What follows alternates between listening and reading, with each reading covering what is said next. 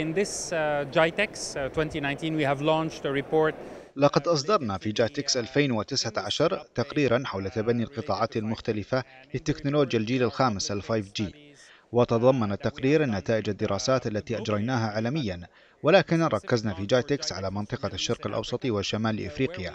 محددين بذلك حجم سوق تكنولوجيا الجيل الخامس ال 5G بحلول 2030 من وجهة نظر موردي الخدمات حيث ستصل قيمة خدمات ال 5G في السوق من شركة إلى شركة B2B إلى حوالي 46 مليار دولار أمريكي في القطاعات المختلفة مثل قطاع النفط والغاز الذي سيستفيد من تكنولوجيا الجيل الخامس. الألياف البصرية أضف إلى كل من قطاع النقل والأتمتة والرعاية الصحية والقطاعين المالي والمصرفي وغيرها.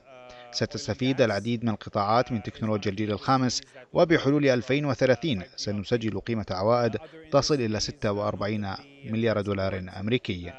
في التقرير الصادر هذا ركزنا فقط على القطاعات ولكن أؤكد لك أنه بحلول 2030 سنشهد استخداما كبيرا لتكنولوجيا الجيل الخامس من قبل الأفراد على وجه الأخص الخدمات على الجوال من خلال نطاق الترددي العريض. أي أنت وأنا وكل منا سيستخدم الجوال بالإضافة إلى الوصول الثابت اللاسلكي للشبكة وهو بديل أو طريقة مختلفة لإيصال البيانات إلى المنزل بدلا من استخدام الألياف. يتم استخدام تكنولوجيا لاسلكية هذان هما التطبيقان الأساسيان اللذان من خلالهما ستدخل تكنولوجيا الجيل الخامس إلى حياتنا اليومية. إنترنت الأشياء يستخدم حاليا من خلال تكنولوجيا LTE وهو لا يتطلب توفر تكنولوجيا الجيل الخامس.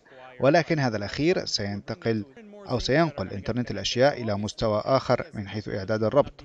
إذ سيتم ربط المزيد والمزيد من الأشياء ببعضها البعض والتكنولوجيا LTE لن تكفي لربطها جميعها. لذا نحن بحاجة إلى ال 5G لابد من التمكن من ربط آلاف الأجهزة في مكان واحد بدلا من ربط فقط المئات. تكنولوجيا الجيل الخامس ستسمح بتحقيق ذلك ولكن طريقة ربط هذه الأشياء هي المفتاح. مع تكنولوجيا الجيل الخامس سنتمكن من خلال ال 5G أن نلتمس الفارق. في فترة الانتظار وفي أيضا طبقات الربط بكلمات أخرى. سنتمكن من أن نقدم خدمة مختلفة لتطبيقات وأجهزة مربوطة متعددة وغيرها. هذا لا يمكن القيام به مع تكنولوجيا LTE بنفس السهولة.